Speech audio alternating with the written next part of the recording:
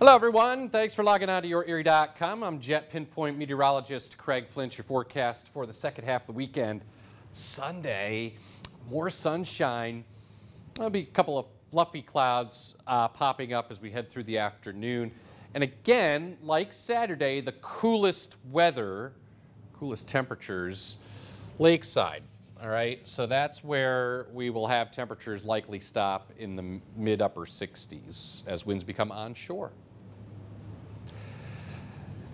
So as we go into next week, I mean, the great weather continues, and day by day, we're going to keep uh, cranking up the uh, temperature here. So you can see uh, we get into the low and mid 70s, and then by midweek, mid upper 70s to low and mid 80s, and it will feel more humid.